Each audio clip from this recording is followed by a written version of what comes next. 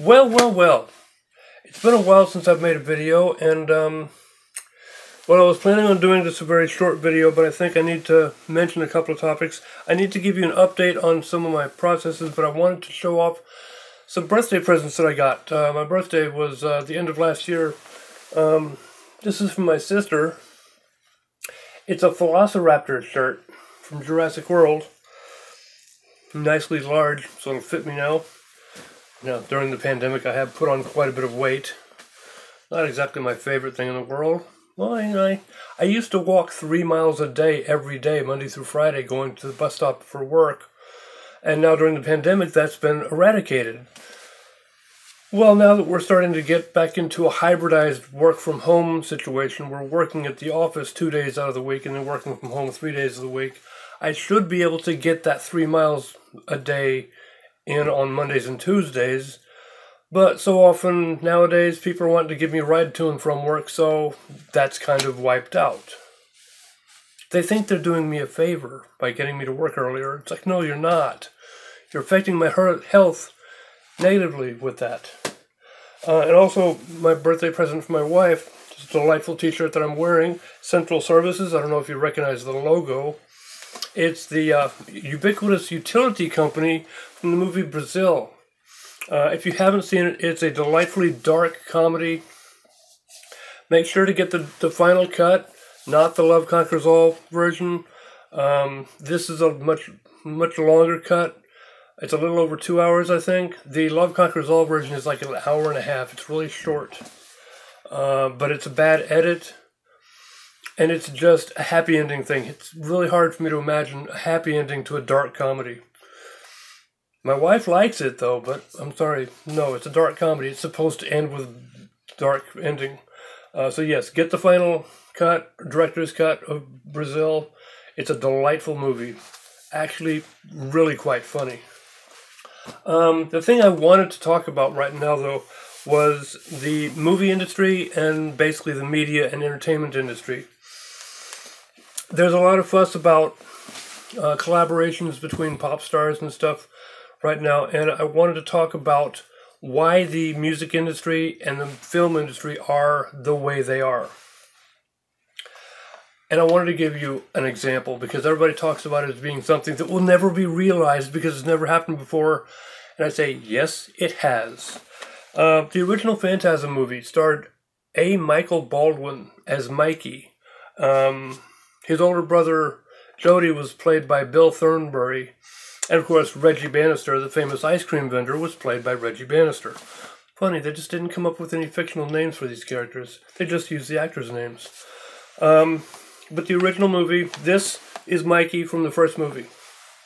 And then nine years later, Don Coscarelli decides to go to Paramount Pictures to get funding for distribution and a massive budget to make the sequel because they were pressuring him to make a sequel. And so they signed him a contract for distribution rights and uh, a massive budget, but they insisted that he jettison one of his top main character actors for someone from the Screen Actors Guild. And so in the second movie, Mikey looked like this. He looks like a football player, a blonde haired football player suddenly. And then, sure enough, my, Don Coscarelli decided to go back to being an independent filmmaker for the third film, and then in Phantasm 3, Mikey looked like this. This is Mikey. What the hell is this guy from the second movie? That's what hurt the franchise, was having to use a Screen Actors Guild actor for one of your main characters in the second movie, and nobody knew what the hell he looked like. I mean, granted, the second movie is a good movie. It is actually my favorite of the Phantasm series because it is a more consistently and specifically horror film. Uh, the first movie was an introduction to the concept, which was delightfully disturbing and scary for a lot of people.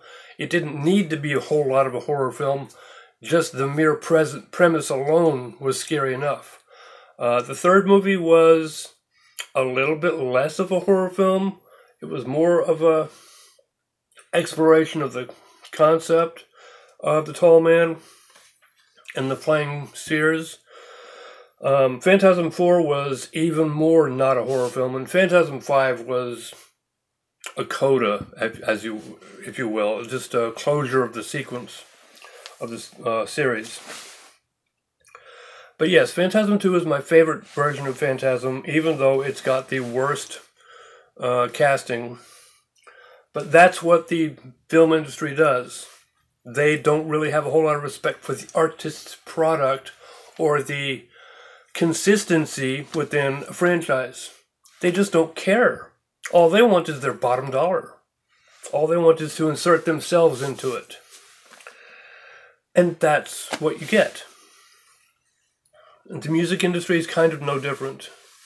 Uh, when it comes to independent uh, musicians trying to bust into the popular music scene, if they aren't greasing the palms of the industry, they're not going to make it because the industry is going to shut them down every chance they get. Which is why you get problems like what we're dealing with these days. That's what the world is like. Sorry, sucks. But of course, you know, the people who are fighting it, they know what they're up against. They've been dealing with it their entire career. So it's not really uh, a surprise or news to them. To the rest of us, we're kind of like looking at it going, oh my God, this is horrible. Why can't these guys get any respect? And they're looking at the world going like, nah, we're used to it. Because they dealt with it their entire career. By the way, yes, I am using my my cheapo little uh, polarizing filter. I'm not sure how well it's working. I have to remember, it doesn't really work guaranteeably for vloggers because I'm dealing with two different light sources. The polarizing filter is supposed to polarize exactly one light source. So since I have diffuse lights, which again, that kind of makes the light seem to come from hundreds of different, millions of different sources instead of just one, and I've also got two of them. So that compounds the problem. But I still find that it produces a better lighting effect by using it. Um, I also wanted to talk about my effort to make my Clockwork Angels extended playlist. This is the actual album itself, uh, as I've arranged it. Um, these are just MP3s on my Kindle, but uh, this is the sequence of the songs on the album. You see, it just barely it's longer than the screen size. Uh, on here, I also have, and it's not finished yet. I have a playlist with a couple of songs added to it, but it needs to be a lot more. Uh, on my YouTube channel, I think I'm going to put a description, a link to the playlist in my description here, where it is perfect and finalized on YouTube. But I need to reflect that in my Kindle so that I can properly deliver it. Um, I haven't worked out the kinks in my presentation for it yet, so that's another one that's coming up still. I keep talking about it and still not doing it. Um, I also wanted to show off my progress in Wandroid number 4. Here is the map to level 7, and I've got all the notes for it. Level 7 I have completed. Now level 8 is nowhere near complete, and I don't have the notes for it at all. Uh, level 9, I have an almost complete map of it but I don't have the notes for it. And level 10 I haven't been able to get a map for yet because I keep getting killed and not being able to save screenshots of the maps. So I haven't got any maps of it yet. Uh, I did print out my script. My video for Wandroid number 4, when I redo it, is going to be a lot like my original presentation. I'm going to do one video basically outlining what I've what has been added to the series since game one, and then basically giving a quick overview of uh, how to play the game based on my uh, blog entry for Wandroid number one, which lays out all the details of how to play the game. You almost might call it more of a user manual. But I'll have links to the new spell books and stuff like that, the new races and classes and stuff uh, in my blog, and I'll have links to those when I do that video. But then I'm going to have a second video, which is going to be called the spoiler-filled video, which uh, shows all the maps and shows how to play through the maps and how to get to through the dungeon, how to level up, uh, where the good monsters are, um, all the good stuff of how to get through the game. Basically, a walkthrough for those who might have gotten stuck or just aren't looking to play the puzzles, just want to play the game, or who just want to win and not really enjoy the mystery of it. But uh, but that way it'll be a separate video for those of you who do want to approach the mystery and deal with the puzzles and surprises. You don't have to watch that video. You can just watch the first video and play the game without the assistance of the maps. Because you can get your own maps while playing the game. The other reason I need to redo the videos is because the game has been taken off the Google Play Store. I don't know why. It is very unique from games 1, 2, and 3. I don't see why they don't consider it a different and unique playing experience. But I'm going to have to provide links to websites where you can download it from uh, for your phone. Uh, the Wandroid games do not work on Kindles and tablets, so I just thought I'd get that out of the way first. But yeah, so I printed out my script for the first video. Uh, I'm tweaking it and updating it, and of course, because of the fact that when I made this video, the old one, I couldn't get past level 6, so its notes only go to level 6. But it does have the layout, the details of how to get through the various parts of the dungeon. So all I have to do is just rework this and present it again. Hopefully with better screenshots and better editing, better sound, and better screen quality because my first video was one of my earliest videos and the video quality was horrible. My delivery was horrible. Um, and the, the video was basically the, the game. So my wife cannot deal with white lettering on a black background. So for her, this game is just totally unplayable. Even though she likes the idea of it, she can't play it because she can't really read the lettering in it because something about her eyes and the astigmatism that she has causes the letters in black background to kind of warp and do funny things. So she can't actually see it. Um, I want to show off something I got from an exotic store.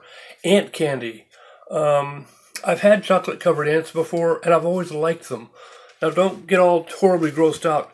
The thing I always keep telling people is Ants are a good source of fumaric acid. Fumaric acid is a very close relative of the stuff that's used to make Hawaiian punch.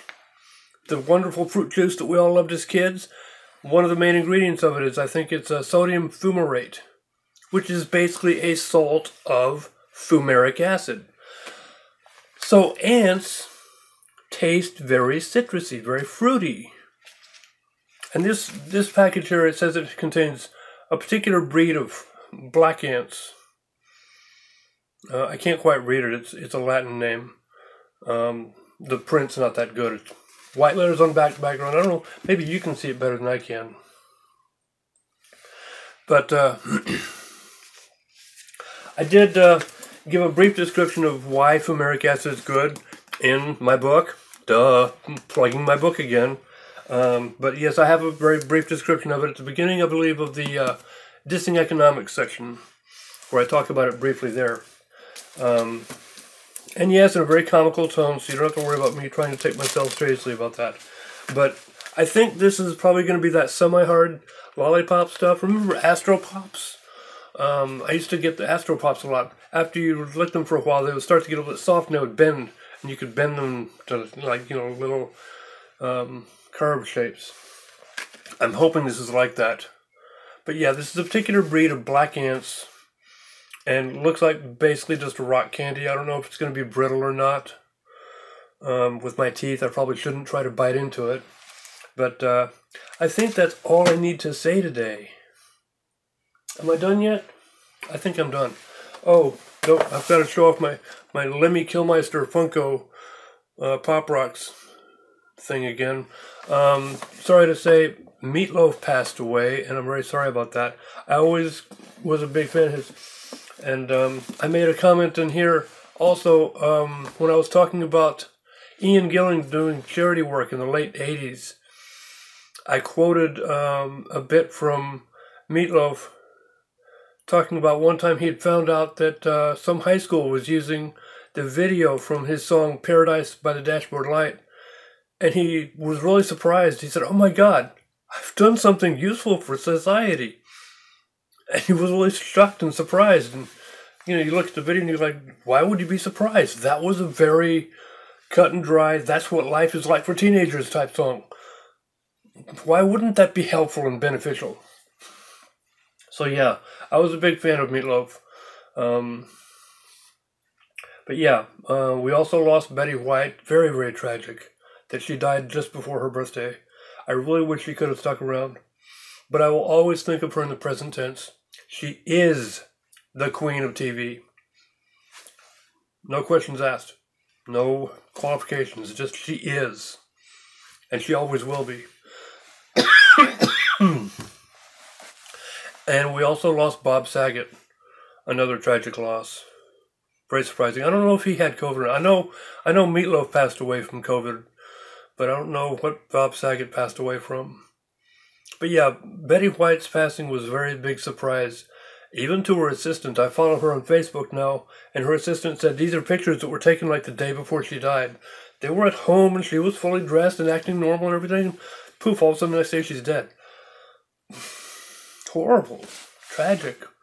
I hope she at least didn't suffer any. But yes, I wanted to uh, show off my birthday presents. And Central Services. Tell me about your ducts. Do they look old and outdated? yes, I'm having too much fun with that.